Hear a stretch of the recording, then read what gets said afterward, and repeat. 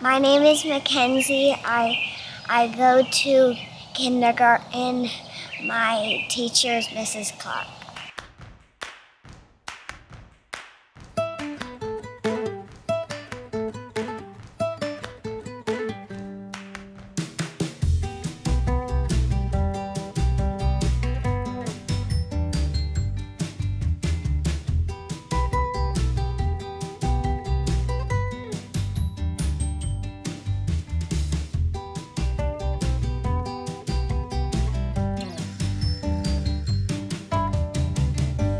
I drawed a few butterflies right here, and then I started drawing a bee, and I drawed a cat at the very bottom of the paper.